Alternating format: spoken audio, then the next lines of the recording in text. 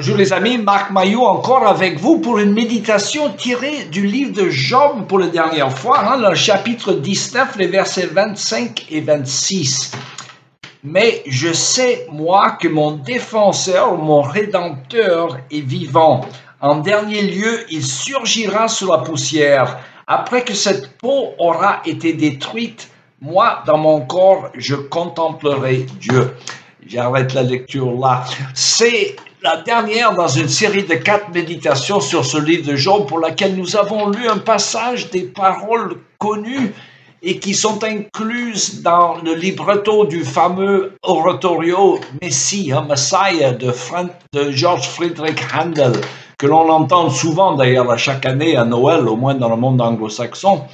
Euh, en fait, il y a un parallèle entre la situation de Job cette victime de toutes sortes de maux qui l'affligent et dont la perte de tous ses biens, y compris sa famille et même sa santé. Et parallèle, je dis, avec la situation de l'humanité entière, hein, car Job, il attend depuis longtemps que Dieu lui restitue ce qui lui a été enlevé par Satan au début de l'histoire.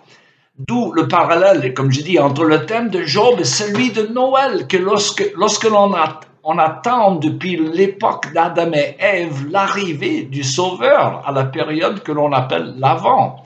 Or, toute la Bible et toute la vie, en fait, le livre de l'homme, la Bible, c'est le livre pour l'homme déchu, c'est l'histoire de l'attente de la révélation des fils de Dieu. Comme dit l'apôtre Paul en Romains chapitre 8, verset 19, où il écrit, et je le cite, c'est en effet cette révélation des fils de Dieu que la création attend avec un ardent désir.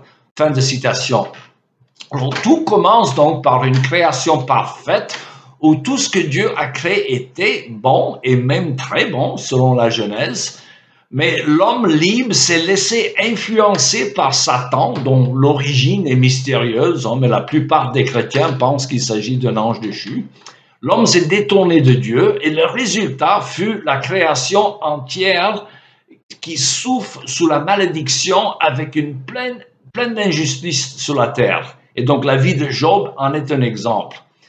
Mais tout de suite après la chute de l'homme, Dieu a promis une solution dans la personne de son Fils, à savoir le Seigneur Jésus-Christ qui est venu la première fois sur la terre à Noël. Il s'est incarné comme un petit bébé vulnérable. Vous imaginez ça, le créateur de l'univers, c'est tellement magnifique que cela dépasse toute explication. Alors, dans un premier temps, ce Messie a mené une vie humaine normale, sauf pour l'absence du péché, et cette vie aboutissait à sa condamnation par les hommes pécheurs qui ne supportent pas la perfection morale. Et ensuite, le Messie était offert par Dieu comme victime pour les péchés de ces mêmes hommes rebelles et ingrats. Il fut ressuscité comme preuve que Dieu le Père a agréé son sacrifice pour le pardon des péchés de tous ceux qui croient en lui.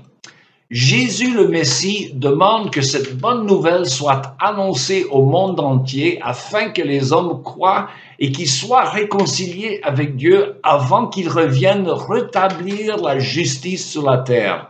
Et d'ailleurs, c'est le sens du mot paix hein, que les anges annoncent aux bergers de Bethléem paix sur la terre aux hommes qu'il aime. La paix dont il est question est celle rétablie entre les hommes pécheurs avec le Créateur trois fois saint.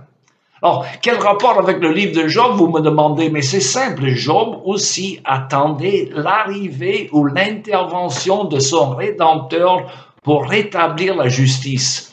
Job, l'homme intègre, hein, non pas sans péché, mais intègre, qui souffrait injustement des conséquences de la malédiction générale qui caractérise la vie de ce monde déchu. Alors, après les longues plaintes et des supplications auprès de Dieu, Job reçoit enfin l'intervention de Dieu qui le rassure de sa bonté divine et sa providence bienveillante. Et Dieu finit par le restituer à sa condition première. Et de même, le Seigneur Jésus est venu dans un premier temps pour s'offrir comme victime sacrificielle pour nos péchés. Mais nous, nous l'attendons une deuxième fois pour rétablir la justice définitive sur la terre, renouvelée où les méchants sont jugés et les repentis qui ont cru à l'évangile seront rétablis. Alors je conclus donc en lisant ces quelques versets du livre de l'Apocalypse au chapitre 21, versets 1 à 6, où nous avons, j'allais dire, la réalisation de ces faits dont nous parlons. Puis je vis un nouveau ciel et une nouvelle terre, un nouveau ciel une nouvelle terre, car le premier ciel et la première terre avaient disparu et la mer n'existait plus. Je vis la ville sainte, la nouvelle Jérusalem, descendre du ciel d'auprès de Dieu, belle comme une mariée qui s'est parée pour son époux. Et j'entendis une voix forte venant du trône qui disait, Voici la tente de Dieu avec les hommes. Il habitera avec eux. Ils seront ses peuples et lui, Dieu, avec eux sera leur Dieu. Il essuiera toute larmes de leurs yeux et la mort ne sera plus. Il n'y aura plus ni deuil, ni plainte, ni souffrance, car ce qui était autrefois a définitivement disparu. Fin de lecture. Il me reste qu'à vous souhaiter mes meilleurs voeux pour une bonne année 2024.